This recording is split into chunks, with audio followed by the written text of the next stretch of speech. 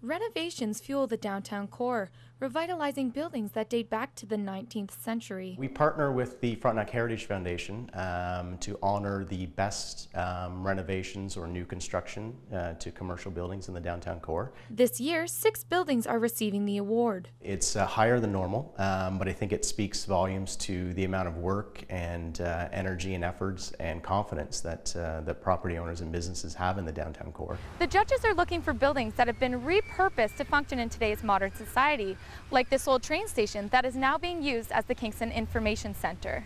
It, along with the Alfred Building, the Smith Robinson Building, Spin Desserts, the Masonic Building, and Trailhead, are earning top honors.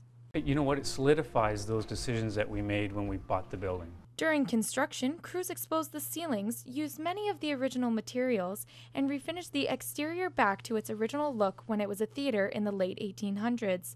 Artifacts are displayed on the walls of the store.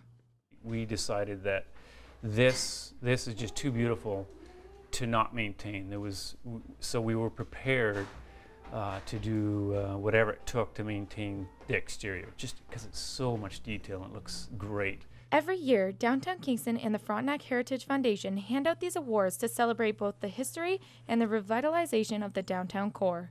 Jamie Patterson, CKWS Newswatch, Kingston.